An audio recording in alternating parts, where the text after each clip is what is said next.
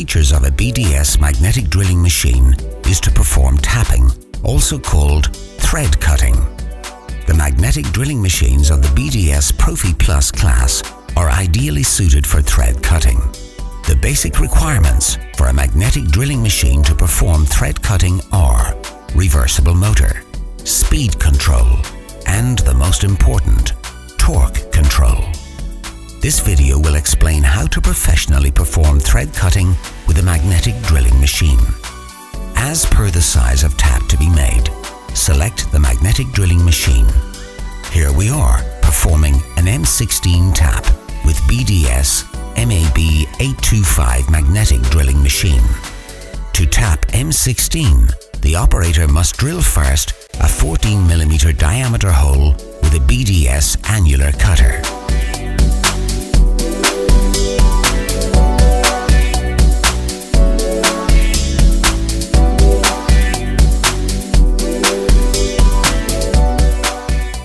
Is made, remove the annular cutter from the machine.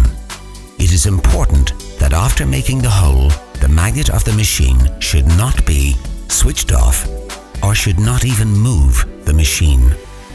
Now insert the M16 tap with the Weldon tap adapter in the machine. It is very important to lubricate the tap before tapping. We recommend you use cutting paste BDS 5500. After lubricating the tap, switch on the motor of the machine. Reduce the speed level of the machine to the lowest level. Increase the torque of the machine to the highest level. Slowly give feed to the machine until the tap enters the hole. Once the tap is inside the hole, the tap takes the travel and the operator does not have to give feed.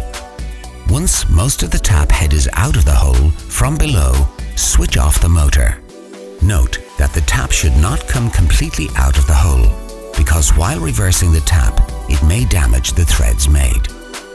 After stopping the motor, change the direction of the rotation of the motor to left and then start the motor again. The tap now takes the reverse feed and comes out of the hole, making a perfectly finished thread. The advantage of tapping with a magnetic drilling machine is that it is very fast and also saves tool cost by reducing the tool breakage. BDS, a complete solution for drilling and tapping. Simply better drilling.